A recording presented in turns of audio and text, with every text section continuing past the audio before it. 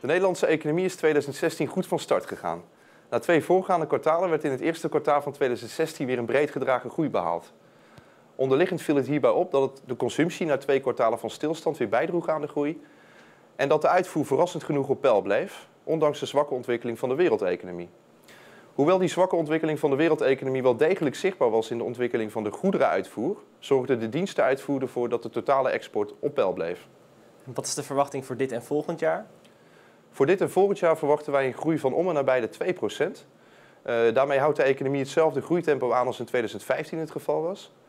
En deze groei zal wederom breed gedragen zijn. Als we dan kijken naar de binnenlandse bestedingen, dan valt op dat de consumptie wat hoger zal zijn. Doordat uh, ja, het inkomen hoger is, dat komt door hogere reële lonen, door het uh, aantrekken van de werkgelegenheid. Maar ook doordat werkenden dit jaar een lastenverlichting krijgen van 5 miljard euro. Wel is het zo dat de besparingen uh, op een hoog niveau liggen en wat ons betreft nog op een iets hoger niveau komen te liggen. En als we dan verder kijken naar de binnenlandse bestedingen, dan valt op dat wij verwachten dat de bedrijfsinvesteringen en de woninginvesteringen ook verder toe zullen nemen. Dat laatste dan vooral ook in lijn met de toename van het aantal verkopen op de woningmarkt. En verder is het zo dat wij verwachten dat het aantrekken van de werkgelegenheid, het verder aantrekken van de werkgelegenheid ervoor zal zorgen dat de werkloosheid verder af zal nemen. Wat zijn de onzekerheden bij het huidige beeld? Die onzekerheden die concentreren zich vooral in het buitenland. Uh, denk daarbij vooral aan een sterker dan verwachte uh, terugval van de groei van de Chinese economie. Uh, onzekerheden rond de bijeffecten van het mondiale monetaire beleid.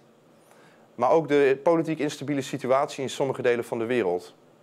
Maar al met al denken wij wel dat de binnenlandse dynamiek op dit moment sterk genoeg is om tegenwicht te kunnen bieden tegen die buitenlandse onzekerheden.